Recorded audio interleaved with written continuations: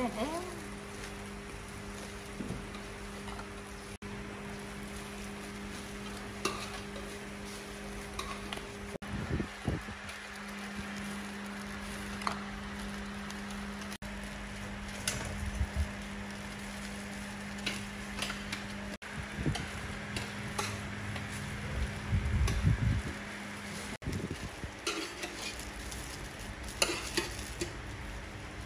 tự góp tiền rồi làm từ 50 suất cháo rồi lên cơm.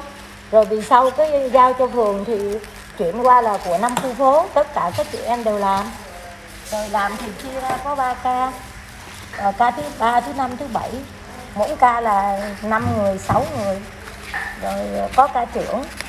Rồi mỗi ngày ca nào làm thì thì ca đó phải tự vệ sinh dọn dẹp sạch sẽ rồi, rồi đi chợ mua đồ sơ chế nấu nấu nấu những món ăn chế biến. Thì lúc chưa có dịch đó là bếp có tới bốn món.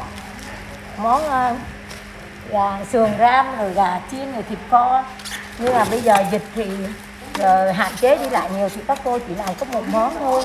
Thì các cô làm vậy là là làm những cái tâm thôi. Chứ không có ai có lương có gì hết á.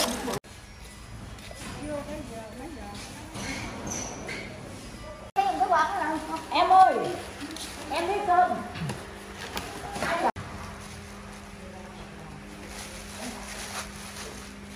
cầm cơm nhá.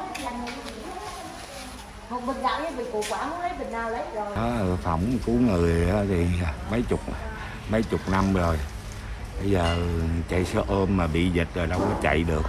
Ừ, đây giờ ở nhà nuôi bà già liệt nằm chỗ rồi giờ mà mỗi ngày lấy cơm từ thiện ở đây cho được nguyên năm à, từng được ba ngày rồi về mà mấy mẹ con sống qua ngày. Chừng nào hết dịch rồi chạy thôi chứ?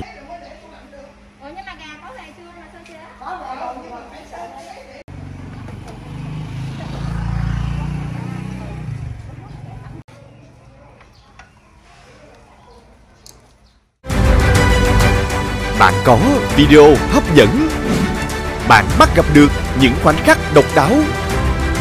Hãy gửi về plo a vòng pháp luật tb.vn để nhận ngay quà tặng và những bút hấp dẫn.